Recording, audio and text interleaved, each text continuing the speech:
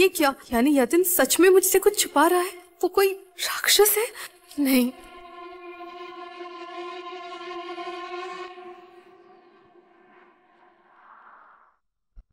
तुम ठीक हो ना? हाँ? हाँ लेकिन तुम्हारा हाथ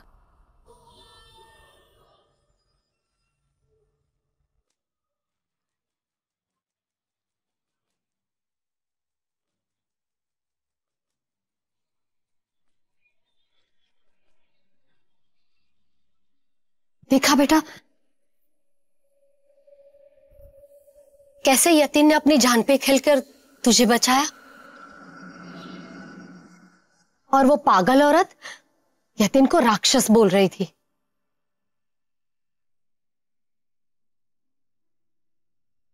अरे जान बचाने वाला तो देवता होता है देवता।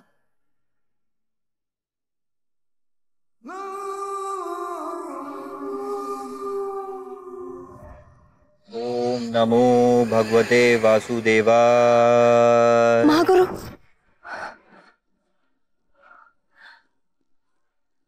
अवश्य वो रक्षा कवच असुरों के हाथ लग गया है।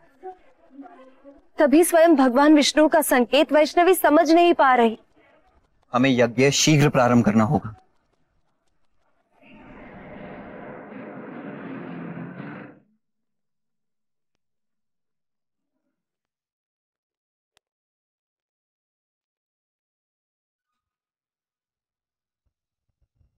वैष्णवी। ये देखो माँ देवताओं का रक्षा कवच। जब तक ये मेरे पास है ना वैष्णवी मेरे चाल में फंसी रहेगी।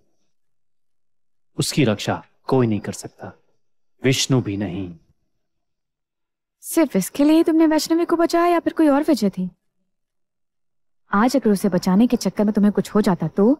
अगर वो मर जाती तो हम अपना आखिरी मौका भी गवा देते। भूल गई? सिर्फ़ यही वजह थी या फिर कुछ और?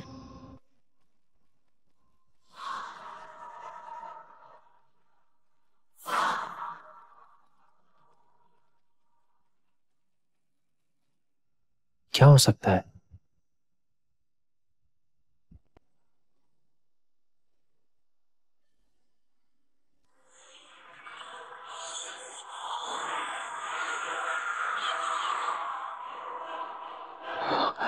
चटायो? इसे रोकना होगा।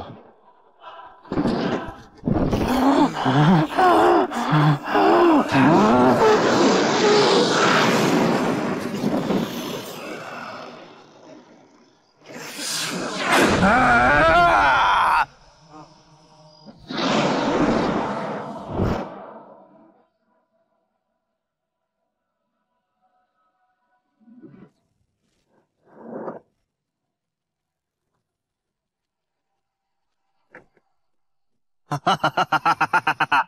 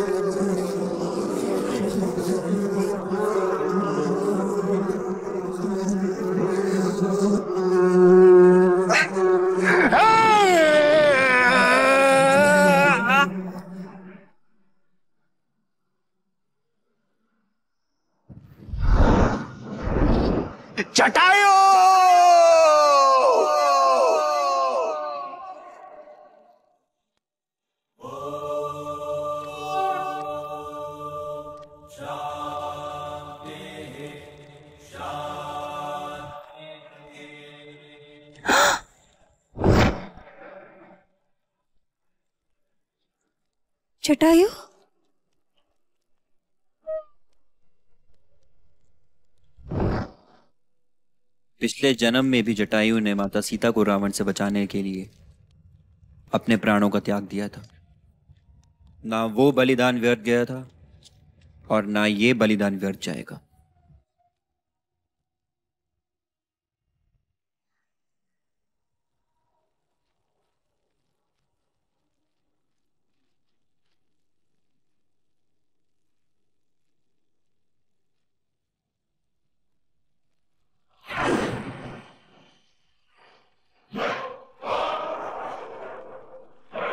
तो तुम दोनों हमें ये बताने आए हो कि अब मैं इस जलती चिता से कभी बाहर नहीं आ सकता। नर्क का द्वार नहीं खुल सकता। हमें पता चला है कि प्रहलाद अपने यज्ञ से तृतीय रेखा नक्षत्र की दशा बदलने वाला है। पर यज्ञ पूरा होने में कम से कम चार दिन लगेंगे। आपका कहना है कि वैष्णवी से शादी चार दिन के अंदर अंदर करनी पड़ेगी। हाँ। पर शादी की तारीख तो अगले महीने की है। तो तारीख बदल दो। वरना हम इतिहास कभी नहीं बदल पाएँगे। भूल जाओ असुरराज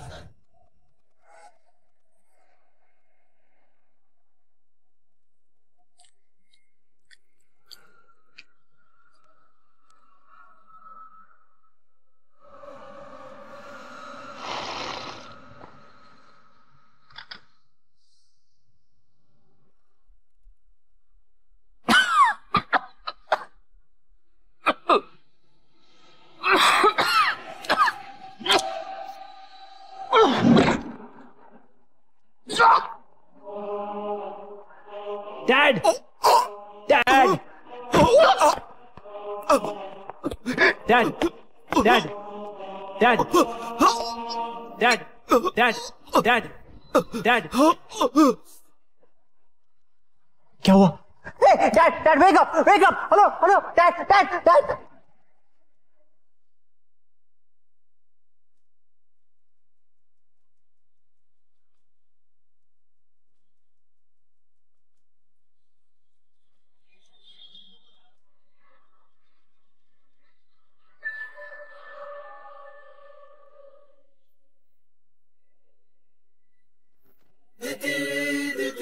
माँ?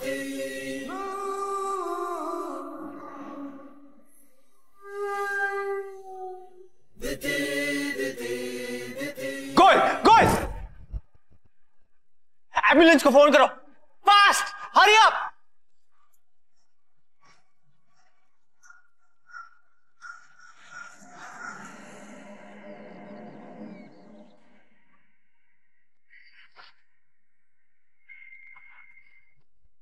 बहुत गहरा स्ट्रोक आया था इन्हें। पर अब ये खतरे से बाहर है। डैड आपको कुछ नहीं होगा।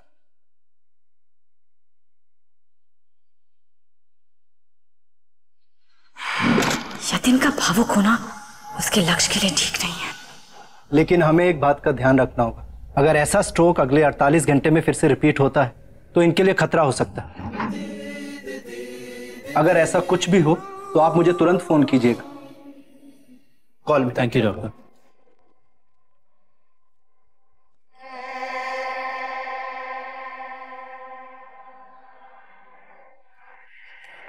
कहाँ जा रहा है तू? कहाँ जा रहा है तू? आज मैं तुझे नहीं छोड़ूँगा मार दूँगा। कहाँ भाग के जा रहा है तू? यतिन।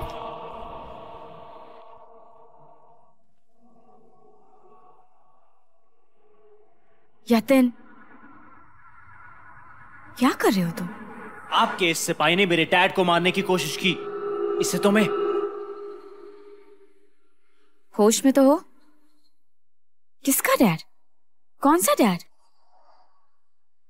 Okay sir. हाँ, नमस्ते जी। नमस्ते। मैं वैष्णवी। अ, जी मैं जानता हूँ। यतिन जी की मंगेतर। मैं यतिन के डैड से मिलने आई हूँ। मैंने सुना उनकी तबीयत बहुत खराब है। अ, जी वो अपने कमरे में है। जाइए ना। जी।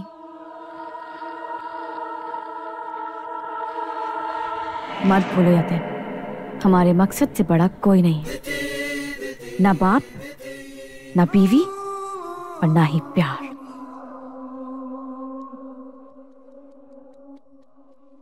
पर अपनों की जान लेना मेरा कभी मकसद नहीं था। और आप जानती हैं कि मैं अपने डैड से कितना क्लोज हूँ।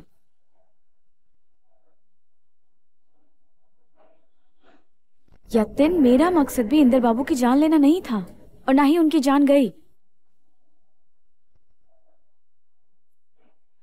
मैं तो बस इतना चाहती हूँ कि तुम्हारी और वैष्णवी की शादी जल्द से जल्द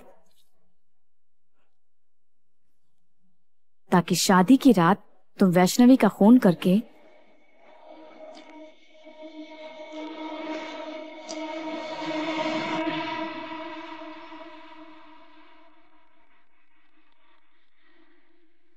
शायद नीचे की तरफ़ ही होगा।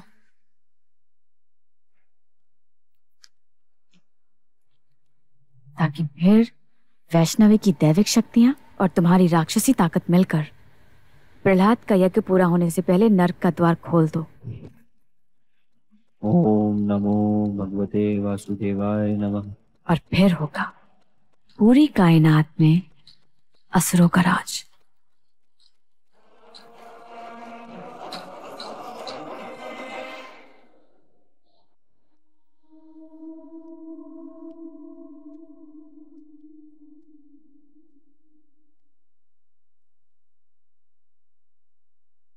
अरे, ये तो कोई और ही जगह है।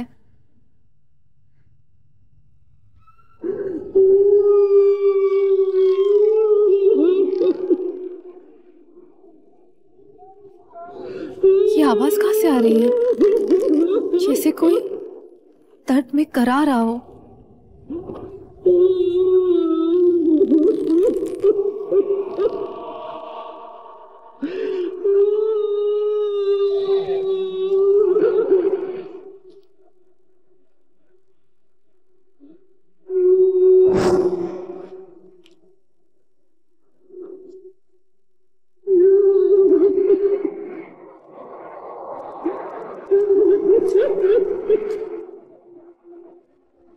शायद इस बंद दरवाजे के पीछे से। इसका मतलब इसका मतलब अंदर कोई है?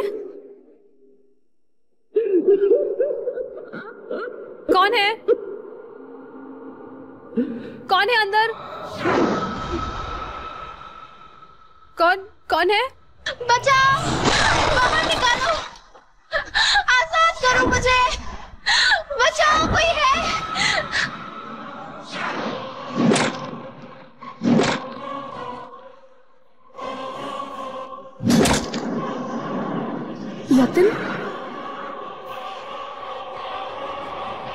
वैष्णवी तुम तुम यहाँ क्या कर रही हो? अब यतिन मिलने तो मैं तुम्हारे डैड से आई थी लेकिन रास्ता भटक गई। अब यतिन इस इस कमरे में कौन बंद है? कोई नहीं कोई नहीं। मैंने अभी अभी आवाज़ सुनी। ये बंद तहखाना तो मेरे लिए भी एक राज है पर दाइमा ने इससे दूर रहने को कहा है। शायद ये हमारे मिशन का हिस्सा हो। वैष्णवी तुम्हें कोई गलत फहमी हुई होगी। आओ मैं तुम्हें डैड से मिलवाता हूँ चलो। लेकिन वैष्णवी तुम पहली बार इस घर में आई हो। आओ मैं तुम्हें हमारा कमरा दिखाता हूँ। देखोगी